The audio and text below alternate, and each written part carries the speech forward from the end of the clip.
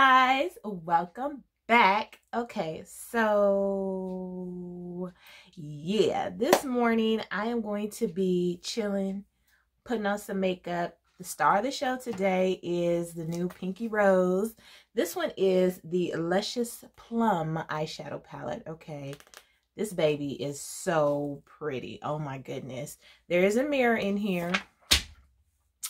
But y'all, look at these colors. Oh my gosh, this is so, so pretty. Gorgeous. We got a few shimmers in there to play with, some beautiful mattes, and it's just, it's really pretty. It just makes me feel like romance. Just, it's gorgeous. So right in time for Valentine's Day. Beautiful, beautiful palette. Um, this is what the packaging looks like. Those flowers are so pretty. And I love kind of like the purple or what is it, lilac type of coloring on the packaging. Now the box is, uh, you, you know, one of the unicartons that you slide it out of. Looks exactly like the palette. So very, very cute. The back, I think, yeah, the back is the same pretty much as well. So if you don't want to keep that, you don't have to. But yeah, it's a really, really cute palette. And I'm going to play in that today. But it's early. I got to get my coffee in. And as you can see from my mug, I have not reached the nice KK yet. so if I get a little spunky this morning, you know why, okay?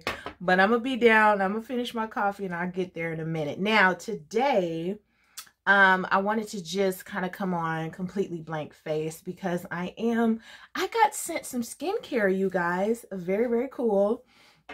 Beautylish uh, sent me some skincare to try out, and this is from Good Molecules. I know that they've been out around for a while, and people have been trying out their products, so I'm really excited to get to try them out because I love me some good skincare, okay? So they did send me a few items to try. Now, this one, hold on. Hold on.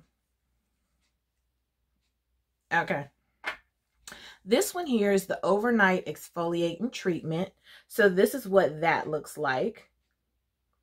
Nice little um, dropper bottle. I have used this twice so far. I've been using these products for about a week. So I'm still in the process of trying them out, seeing how I like them and if they work for me but I've used this twice so far and this stuff I really really like it now with these overnight exfoliating treatments some of them at least the ones that I have used feel like they're burning your face do they feel like they're burning your face some people don't like it some people can't handle it because you know it's not a comfortable feeling to put on your face before you go to bed. Now, it doesn't continue to burn. When I first put it on, I could feel that burning, that tingling. And then, you know, after a minute or so, it just goes away. But I like it because, you know, it makes me feel like something's happening. and when I wake up in the morning, I mean, my skin is just so nice and smooth and refreshed.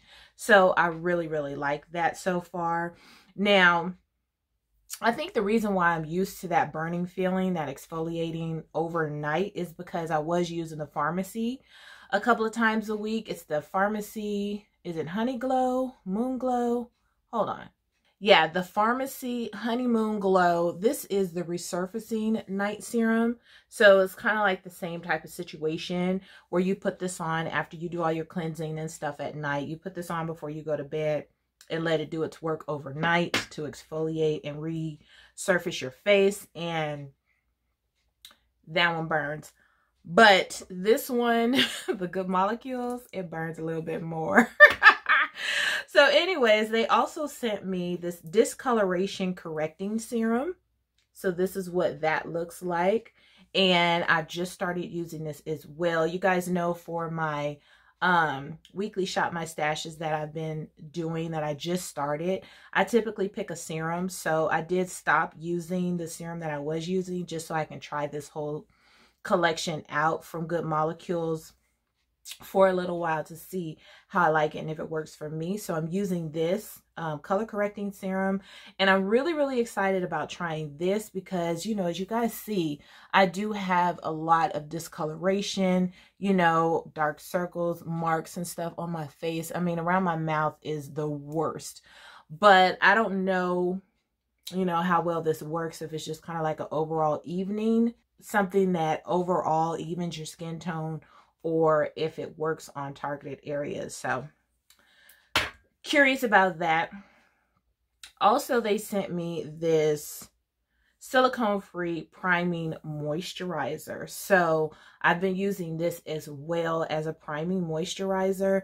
Now, occasionally I will use this just as a moisturizer as well as adding a separate primer because it depends on how I feel as far as if I feel like I need an extra primer. But I really, really like the consistency in this of this and how it feels so far. So I'll give you guys an update. And lastly, they did send me this Squalane facial oil. So this is what it looks like. Very cute little bottle. Um, I don't use this all the time. I only use facial oils when I feel like it, quite honestly, because it can be a bit much for me. This one is actually lightweight, very lightweight, and it does leave my skin feeling nice and soft and smooth. So I do like it. I'm just not that into facial oils that much. So, so those are the skincare items from Good Molecules that I am currently testing out, and I will give you guys an update on those in the future. I'm also going to go in this morning with this Purlisse Blue Lotus 4-in-1 I Adore Serum. So I got this in a monthly subscription box, of course, and this is just an eye serum. It says that it's supposed to intensely hydrate, firm, and brighten, um, and, you know, decrease puffiness. So for me, my major issue with under my eyes is dark circles, as you can see. I really don't have that much you know, luck with eye cream. So I kind of just side eye them to be honest with you. But since I'm trying out the rest of these, you know, skincare products, I said, I'm going to try this out too and see if I see any difference. So that's what I'm going to do right now. Throw on some brows and then we'll come back, jump into this face and this eye look with this Pinky Rose palette, okay? And hopefully by then, I will have reached the bottom of my cup. So I can be a sweet KK, okay? Okay, you guys, so skincare is on, eyebrows are on, and eyelids are prepped with my e.l.f. All Day Eyeshadow Primer. And I finished my coffee. so, yes, I'm in a better mood. Now I'm ready to jump into this bright, bold, beautiful palette. Um, yeah, definitely doing a cut crease today. So let's start out with this gorgeous purple shade here. You know what? Let me go ahead and swatch this palette right quick.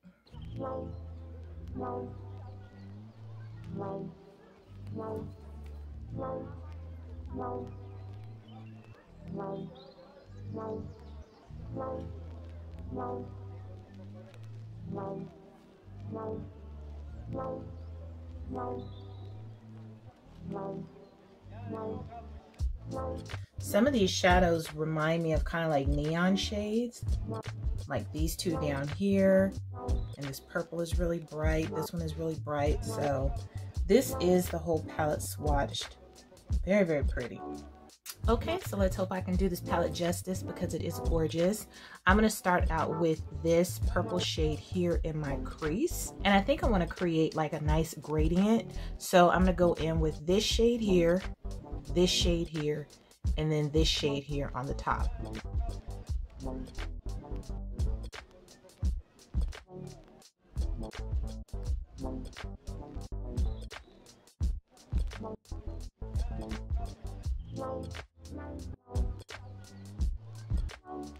Okay, so that color is Yes Girl, and as you can see, it is very nicely pigmented.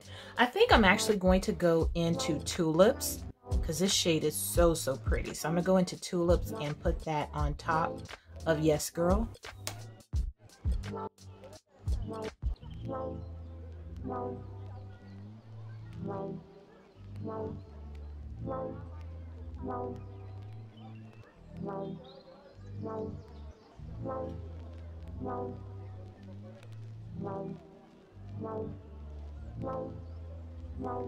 Oh, that's so pretty. The color story of this palette, you guys, is so, so gorgeous to me. You guys know I love pinks and purples. It's just so, so pretty. Okay, and on top of that, I want to go into this gorgeous bright shade here, which is called Sweet, and just put that on top of that pink. Oh, she pigmented. I did not think she was going to be that pigmented. I don't know why, because all the other colors are mad pigmented, so yeah, this palette is not for the faint at heart. It is pigmented, okay?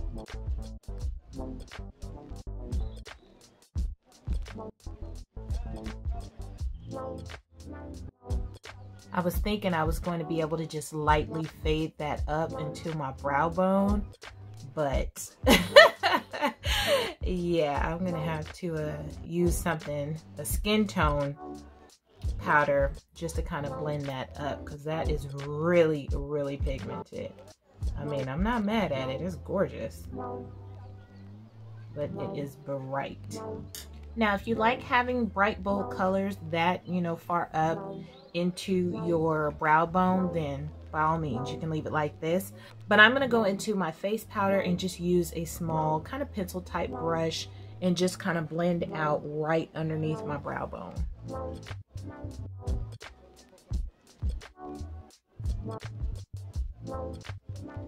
Okay, so that works. So yeah, if you ever feel like you went up a little bit too far you just went a little too ham with your color towards your brow bone, use some of your face powder to kind of, you know, just blend out that edge and tone it down a little bit. So now I'm going to use my Revolution Cut Crease Canvas to cut a crease. I'm to try and do like a full half circle today. Okay, so cut crease is on.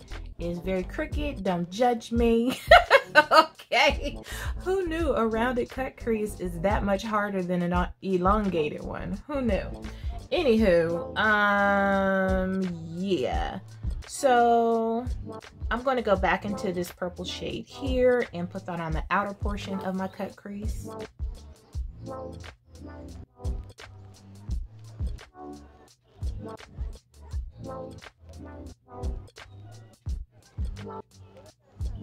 Next, I want to try out this really pretty pink shade here. That is called Dream.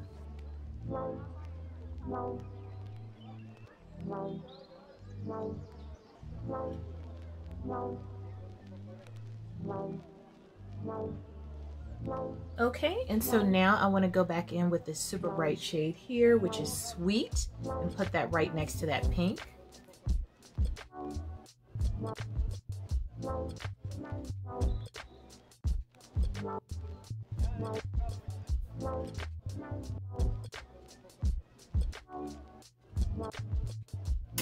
Okay, I don't know how I ended up with this kind of angular thing going on, but that's what we got today. so, yeah, now I want to try out one of these shimmers. Oh, they're so, so pretty. So I think I'm to go with this one here. And that one is Throne. And I'm to put that on the inner portion of my cut crease. Okay, so let's try it dry first.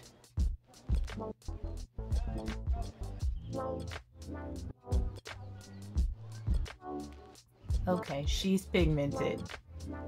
Very pretty. Bye.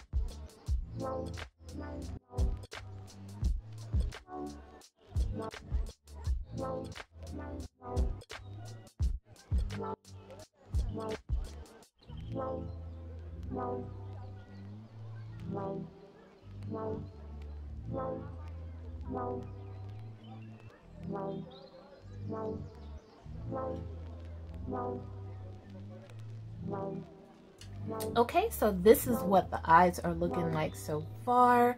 And yes, it's taking some serious blending to get to this point. I'm gonna go ahead, clean up, throw on some liner, finish my complexion, then we'll come back and finish up the lower lash line. Okay, so let's get into this lower lash line.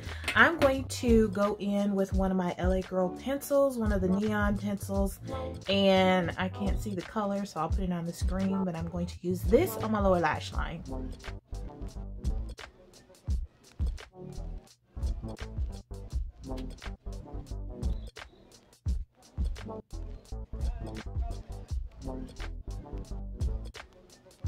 These LA Girl neon pencils are so bright and colorful. Okay, just below that, I'm gonna go in with the purple shade here. And I haven't experienced a lot of fallout up till this point, but now that my complexion is done, I'm going to try and be careful.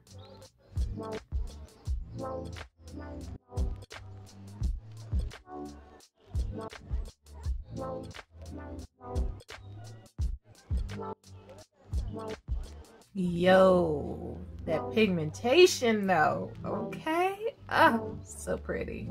Now I just want to go in with a little bit of sweet underneath that purple just to kind of bring in that bright color as well. Just a little bit under that purple. Hopefully I don't go overboard, okay?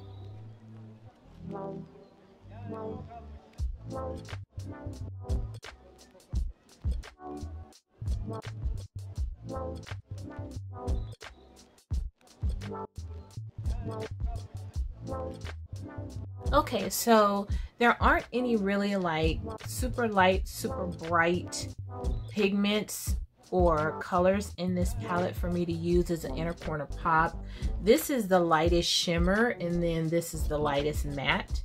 So those are the two, you know, kind of lightest colors in this palette and neither one of which will give me like a super bright pop like I want. So I'm gonna find something to pop in my inner corner to give me the pop that I'm looking for. So I'm gonna go into my e.l.f. this is a highlighter palette. It's the glow gleam and beam palette.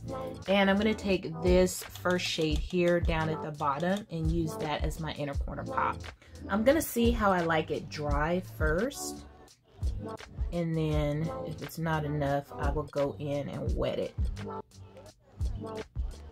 I just you know want to add that extra little pop okay I think that's enough I like that dry. So you guys know you can use like highlighter palettes and stuff for inner corner pops and different things. So you don't have to, even as eyeshadow, you know, you don't have to just use it for highlight.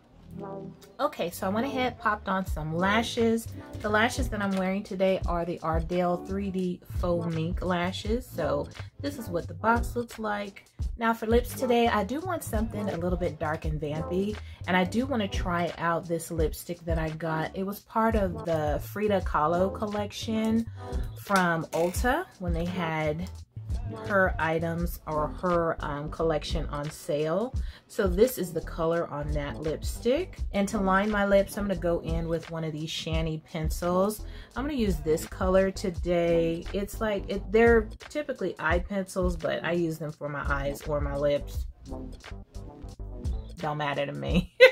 so I'm gonna go ahead and line my lips.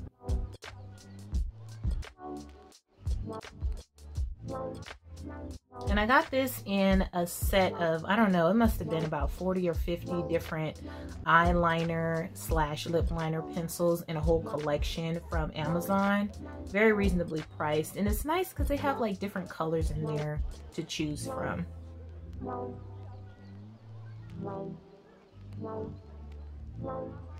So I really like the color of this lipstick. It's a really pretty plum shade as you can see. I think it goes well with this eye look and I'm tired of doing nudes so this is what we have today. I'm going to set my face with this sample of Cover FX setting spray that I got when I ordered one of their what was it, the highlighter and blush duo. So I kind of want to finish this up. It's a cute little sample. Although this would be really good to save for travel. So I might go ahead and save this, but I'm going to use it today. Okay.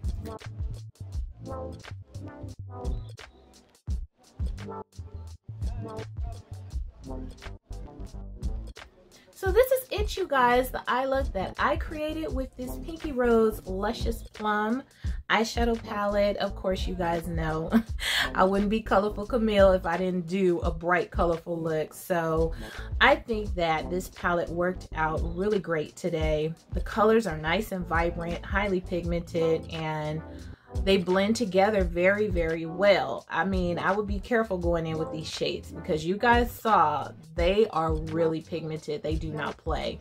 Now, if you're kind of thinking, I don't really want a palette or a pinky purple palette that's so bright, there is this corner over here that I think would be great for someone who sometimes like bright colors and sometimes don't because you can definitely do gorgeous everyday looks from this right over here.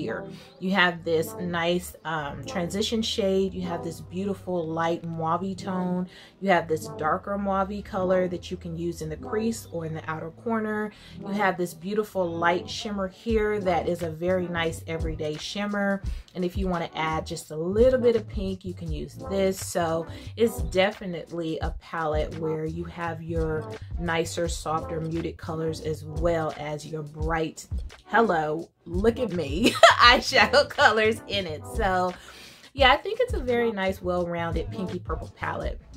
I'm not surprised that I like this palette because I do like Pinky Rose. Wasn't sure how it was going to perform in Honey the pigmentation okay? So very happy with it. Blends nicely and not hard to use at all. I mean the colors really pop on that white cut crease canvas but also you see where I just used the e.l.f. eyeshadow primer the colors popped just as much. So I think it's a great palette nicely pigmented and for 22 bucks you can't beat it. You looking for a new what Valentine's Day palette honey not too bad. So that's it you guys. Thanks so much for hanging out with me to create this eye look. If you enjoyed it please remember to hit like. If you're liking your girl's content go ahead and subscribe okay? And i will see you on my next video. Toodles!